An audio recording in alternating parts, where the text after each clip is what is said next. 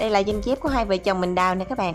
Mình có làm một video trước về quá trình mình đi đào chanh chép như thế nào Và cách nhìn hang của chanh chép như thế nào. Các bạn nào chưa xem thì có thể vào xem lại nha. Và ngày hôm nay mình sẽ làm món chanh chép nướng mỡ hành nha các bạn. Chanh chép mình đã ngâm nước muối và rửa sạch để cho nó nhả sình đó các bạn. Bây giờ mình sẽ đem đi luộc sơ để tách chanh chép ra nha trong con chăm chép nó có nước sẵn cho nên là khi mình luộc nó sẽ tự ra nước mà không cần phải tí nước nha các bạn.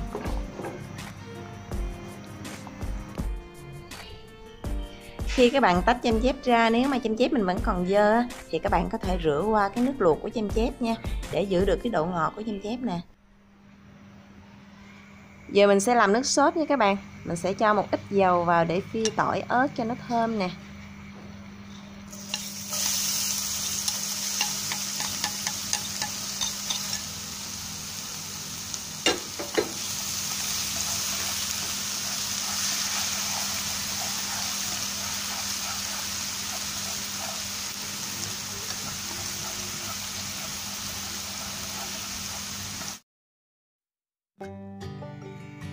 Phần tỏi ớt của mình đã thơm rồi, mình sẽ tắt bếp nha.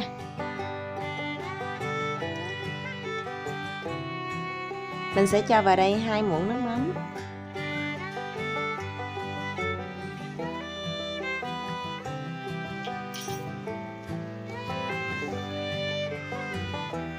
Đường cát hai muỗng.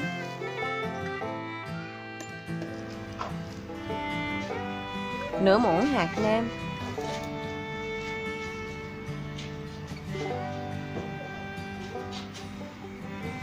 Một muỗng dầu hào.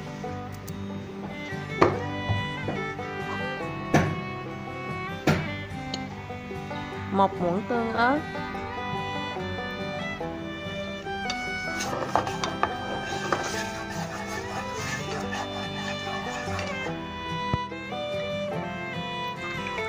Các bạn cho thêm một chút xíu nước lạnh nữa nha. Mình sẽ cho thêm một ít tiêu cho nó thơm nha giờ thì mình bật lửa lên lại nha và mình sẽ nấu cho hỗn hợp này sôi lên các bạn.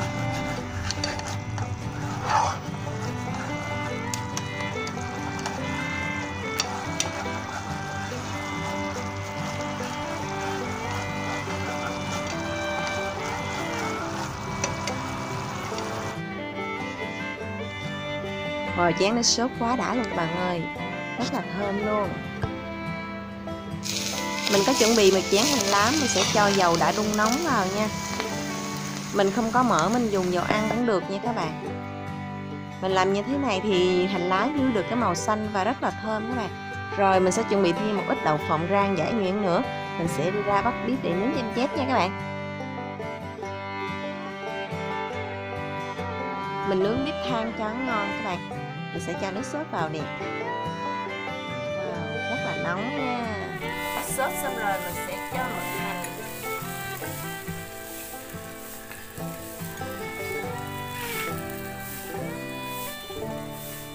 thơm quá các bạn ơi.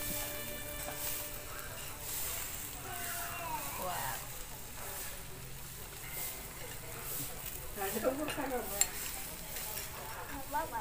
ngon quá quậy ơi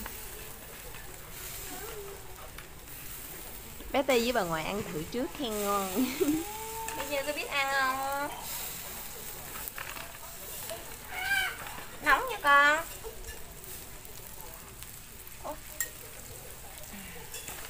Đấy bởi giờ con đó nữa con đó tài sản riêng của chồng. Tài sản riêng đi đây cho khách đi. Bỏ con lên đây ăn. Rồi còn ôi. Mình sẽ cho đậu phộng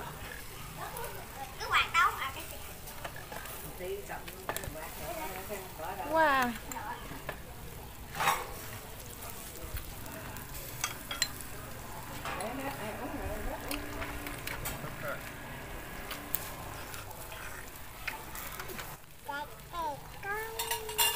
Chưa ăn luôn biết cay sao?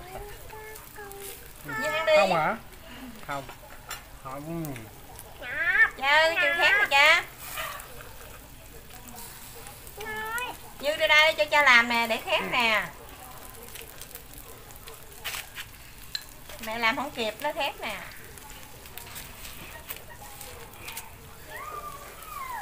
Giận quá giận quá.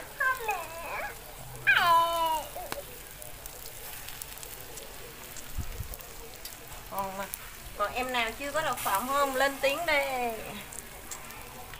Ăn thử coi cho. Tới này giờ đợi hả? Quá trớn hả? Vậy chứ mình vừa nướng vừa ăn như vậy mới ngon á.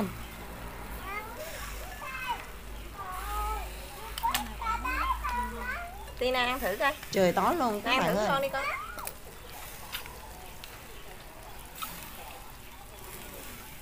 wow